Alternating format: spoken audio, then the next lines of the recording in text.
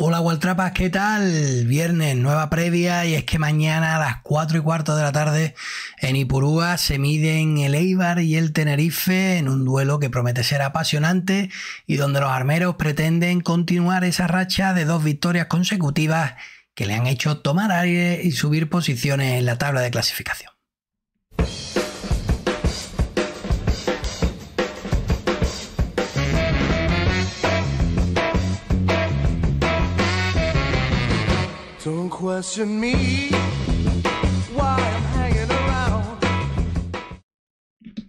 Pues igual trapa, partido muy importante el que mañana el Eibar disputará en Ipurúa ante el Tenerife, un duelo donde los armeros pretenden continuar con esa racha de dos victorias que le han hecho pues respirar tranquilo. Llegamos pues muy acuciados al partido contra el Racing de Ferrol, que como sabéis pues tuve la suerte de estar en Ipurúa, donde llegábamos colistas y la verdad que se firmó un gran encuentro, se neutralizó totalmente al Racing de Ferrol y, y conseguimos pues sumar esos tres puntos y posteriormente pues el pasado viernes le ganamos a, al Cartagena, un rival que sí que es verdad que venía pues bastante tocado, además esa derrota supuso la destitución de Víctor como entrenador, pero también es verdad que el Cartagena es un campo que se nos ha dado de pena en, estos dos años en, segunda división, allí pues hemos, habíamos caído en las dos temporadas y, y supo muy bien esa victoria, donde además pues el conjunto armero supo sobreponerse al empate en la segunda parte y donde además pues rescatamos de nuevo la versión goleadora de don Juan Diego Molina Martínez Estoico, el jugador para mí más determinante de la plantilla, un jugador que, no estaba teniendo suerte de cara al gol y que en los dos últimos partidos ha marcado dos goles que, que han supuesto seis puntos. Por tanto, pues, pues buenas noticias. Además, todo ello pues, se ha acompañado de una también gran noticia que fue que ayer el conjunto armero pues, sacó un comunicado, en este caso sus servicios médicos, informando que tanto Robert Correa como Venancio pues ya eh, están entrenando con normalidad en el grupo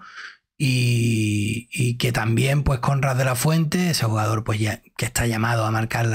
las diferencias, pues ya está en la última fase también de recuperación de su lesión. Por tanto, pues grandes noticias, para mí principalmente la de Venancio, que, es un jugador que está llamado a, llamar, a jugar perdón, muchos minutos en el, en el eje de la defensa, ya que pues Arvilla, que para mí es un jugador pues eh, insustituible y de un valor pues enorme,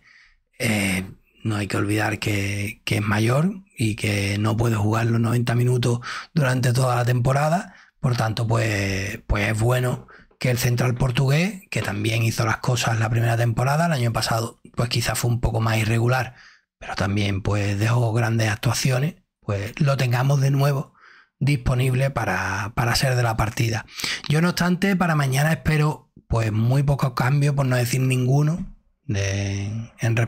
con respecto a, al 11 que, ganó en Cartagena, que a la vez pues el único cambio que tuvo fue la entrada de, de Berrocal, que no había podido jugar contra Racing de Ferrol pues, por sanción, y eh, Sergio subió al sitio de una y vencedor. Yo creo que Sergio pues es un jugador que con este esquema le aporta mucho equilibrio a Leibar y hace además que no nos convirtamos en un equipo muy largo y que no haya mucha, mucha distancia entre líneas. Eh, por tanto, pues no me extrañaría que mañana repitiéramos ese 11 compuesto por Lucas Zidane bajo palo, con la defensa pues para Cristian, para Berrocal, para, eh, para, para Cristian, para Berrocal, perdón, que se me ha ido un poco el coco,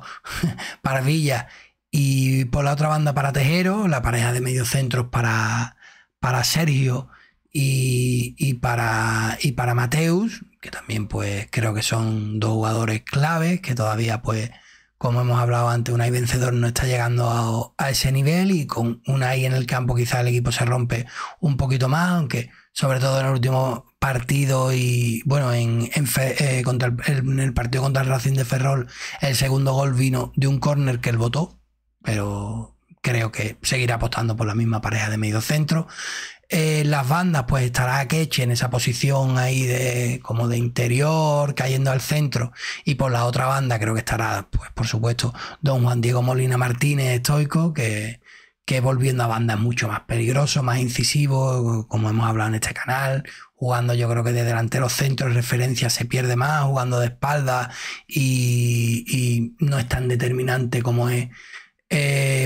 por banda con más espacio y, siendo pues más complicado de detectar para la defensa. De enganche creo que seguirá estando Soriano, que está haciendo las cosas muy bien. Y en, en punta pues seguirá Quique. Es verdad que, que de ese 11 pues, pues probablemente creo que Quasmi cuando esté más, más adaptado eh, le robará la titularidad a Quique, en mi, en mi impresión. También pues Corpa tendrá minutos y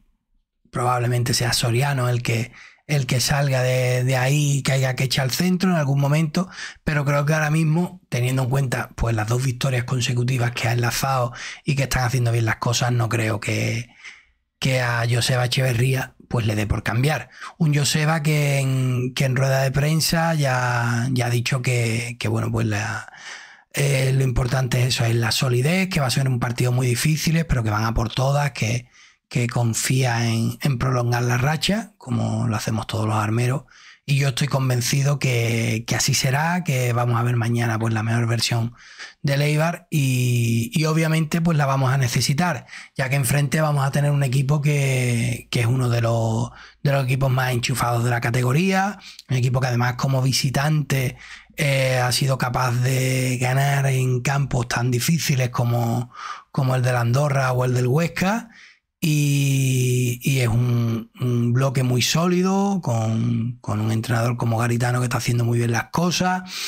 y, con jugadores que todos conocemos sin ir más lejos, pues el gol de la victoria en el último, en el último partido, perdón, en el pasado partido ante el español, lo hizo, lo hizo Enrique Gallego, un delantero pues que todos, todos conocemos. Tiene también a, Sergio, que está haciendo las cosas muy bien en el medio centro, un canterano del Cádiz, también está Jan Bodiger, está también Alex Corredera, es decir, es un equipo que, que todos conocemos, que se ha reforzado muy bien este año y que ha empezado muy enchufado. Como hemos dicho, fruto de ello, pues es que ahora mismo se encuentra en, la zona de ascenso directo. Pero bueno, no hay que tenerle miedo a nada. El Eibar ha demostrado pues que, es capaz de, de, lo mejor, también es capaz de lo peor, por supuesto, y más este año lo estamos viendo. Pero bueno, yo confío en que ya hayamos cogido carrerilla, en que ya pues los malos tiempos hayan pasado y que a partir de ahora pues, pues enganchemos unos cuantos partidos que nos hagan escalar en la tabla, que obviamente ahora mismo la tabla es meramente anecdótica, que lo importante es el final, pero bueno, siempre gusta pues mirar la tabla y, vernos arriba. Así que nada, Gualtrapa, a ver si hay suerte y mañana, que además el partido, pues eso, como hemos dicho, a las 4 y cuarto, eh, ganamos, que siempre mola cuando, cuando ganamos el partido ahí y es de los primeros de la, de la jornada, pues seguir viendo fútbol que cuando perdemos la verdad que se te quitan las ganas de, ver fútbol y, de no enterarte de nada. Pero ya digo, confío en que los tres puntos mañana se queden en Ipurúa y que, y que la victoria sea nuestra. Y en cuanto termine el partido, pues esté yo aquí grabando un vídeo con una sonrisa de oreja a oreja, celebrando los tres puntos armeros. Un abrazo, chavales. Adiós, Guartrapa. Guaseneibar, vamos.